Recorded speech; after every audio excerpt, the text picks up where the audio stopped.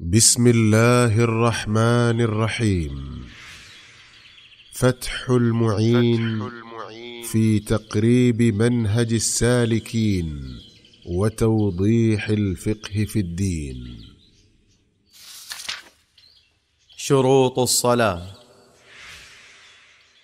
شروط الصلاة تسعة الإسلام والعقل والتمييز ورفع الحدث.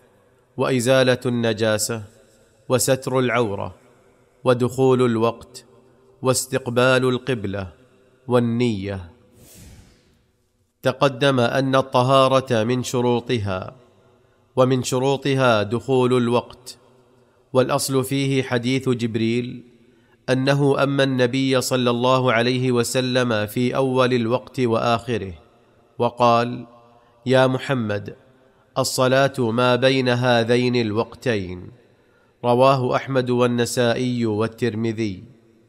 وعن عبد الله بن عمرو رضي الله عنهما أن النبي صلى الله عليه وسلم قال وقت الظهر إذا زالت الشمس أي مالت عن كبد السماء إلى جهة المغرب وكان ظل الرجل كطوله ما لم تحضر العصر ووقت العصر من نهاية وقت الظهر ما لم تصفر الشمس ووقت صلاة المغرب من غروب الشمس ما لم يغب الشفق الأحمر ووقت صلاة العشاء من مغيب الشفق الأحمر إلى نصف الليل ووقت صلاة الصبح من طلوع الفجر الثاني ما لم تطلع الشمس رواه مسلم.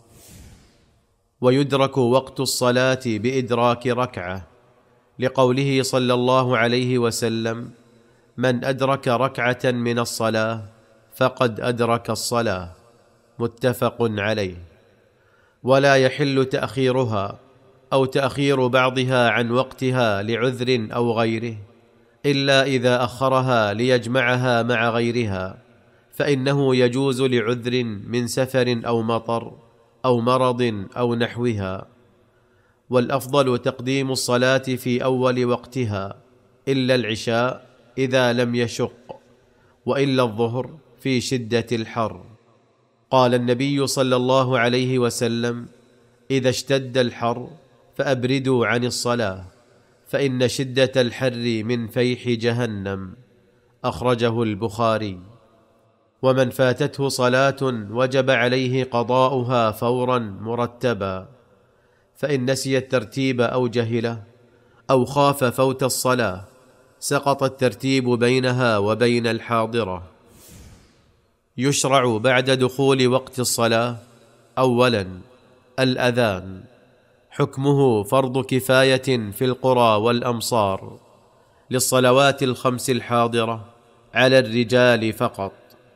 محله عند دخول الوقت لإعلام الناس وحثهم على الجماعة. صيغته الله أكبر الله أكبر الله أكبر الله أكبر.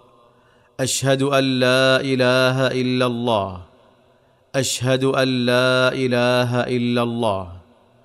أشهد أن محمدا رسول الله. أشهد أن محمدا رسول الله. حي على الصلاة حي على الصلاة حي على الفلاح حي على الفلاح. الله أكبر الله أكبر. لا إله إلا الله. ويشرع لغير المؤذن استحبابا الترديد معه بأن يقول مثل ما يقول المؤذن.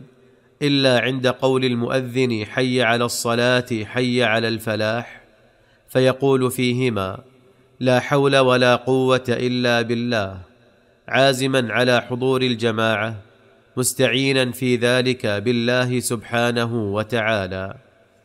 ويشرع له أيضا الصلاة على النبي صلى الله عليه وسلم. ويشرع أيضا الذكر الوارد بعد الأذان. اللهم رب هذه الدعوة التامة والصلاة القائمة. آت محمدا الوسيلة والفضيلة وابعثه مقاما محمودا الذي وعدته وأن يدعو بما شاء بين الأذان والإقامة. ثانيا الإقامة. حكمها سنة. محلها قبيل الشروع في الصلاة بتكبيرة الإحرام. صيغتها. الله أكبر الله أكبر. أشهد أن لا إله إلا الله. أشهد أن محمدا رسول الله. حي على الصلاة حي على الفلاح. قد قامت الصلاة قد قامت الصلاة. الله أكبر الله أكبر. لا إله إلا الله. ومن شروطها.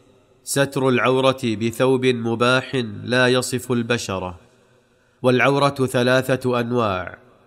اولا مغلظة وهي عورة المرأة الحرة البالغة فجميع بدنها عورة في الصلاة إلا وجهها. ثانيا ومخففة وهي عورة ابن سبع سنين إلى عشر وهي الفرجان.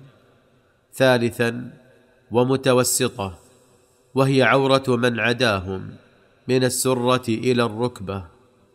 قال تعالى يا بني آدم خذوا زينتكم عند كل مسجد. ومنها استقبال القبلة. قال تعالى ومن حيث خرجت فول وجهك شطر المسجد الحرام. فإن عجز عن استقبالها لمرض أو غيره سقط كما تسقط جميع الواجبات بالعجز عنها.